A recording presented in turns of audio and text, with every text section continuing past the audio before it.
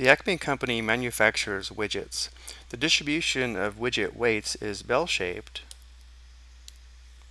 The widget weights have a mean of 55 ounces and a standard deviation of 4 ounces.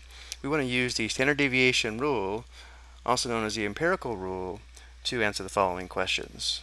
But first, because the mean is equal to 55 ounces, we could say mu, the variable used to represent the mean, equals 55 ounces.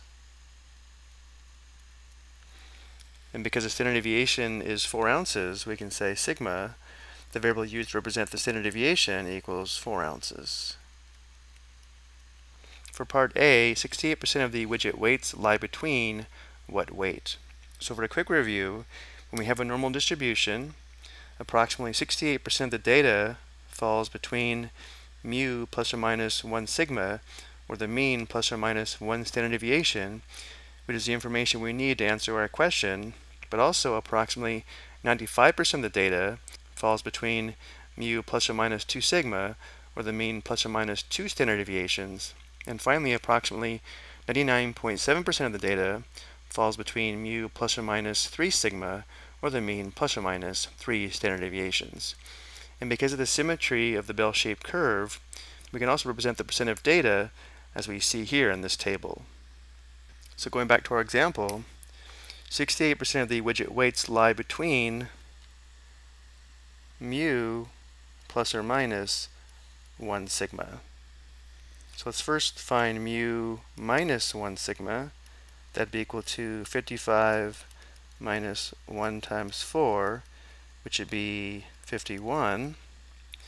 And then for mu plus 1 sigma, we'd have 55 plus 1 times 4, which equals 59.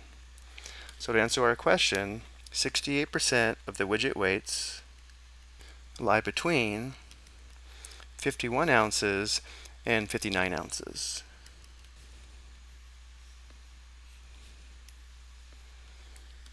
Part B, what percent of the widget weights lie between 47 and 59 ounces?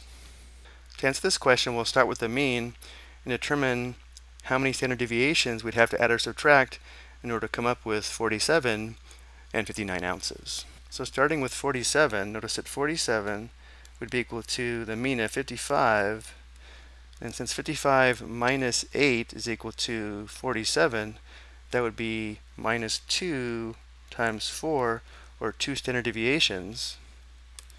Notice how this would be mu minus 2 sigma. And then for 59, starting with 55, notice how we'd have to add one standard deviation, or 1 4, so this would be equal to 59. And therefore 59 is equal to mu plus 1 standard deviation.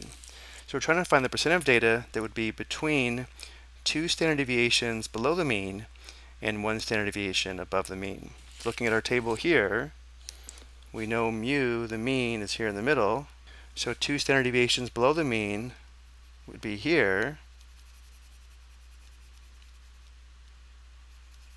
all the way out to one standard deviation above the mean, which would include this region here. which means the percent of weights that would lie between 47 and 59 ounces would be 13.5% plus 34% plus 34%, which equals 81.5%. So we can say 81.5% of the weights lie between 47 and 59 ounces.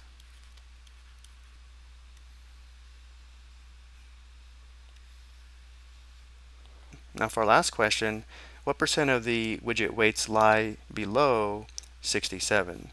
So again, our first step is to determine how many standard deviations we have to add or subtract to the mean to get 67. Well, 67 is equal to 55 plus 12, Notice 12 would be 3 standard deviations, since 3 times 4 equals 12. So plus 3 times 4, which again is mu plus three standard deviations. So we want to find the percent of the data that would be below mu plus 3 sigma. So going back over to our table, we'll notice that mu plus 3 sigma would be here on the far right. So we want to find the percent of data to the left of mu plus 3 sigma, which would be all the data here. We need to be careful though, we cannot just add the percentages given here in our table because this does not show 100% of the data. We need to recognize that 50% of the data would be to the left of the mean. So we'd have 50% of the data to the left of the mean here. And then moving to the right, we can just add the percentages all the way out to mu plus 3 sigma. So we'd have 50% plus 34% plus 13.5%, and then finally plus 2.35%. So again, we'd have 50%, which is the percent of data to the left of the mean, plus 34%, plus 13.5%, plus 2.35%. The sum comes out to 99.85%. So 99.85% of the weights are below 67 ounces.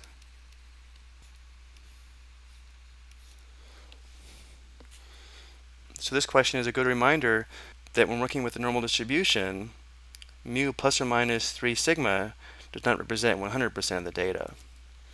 I hope you found this helpful.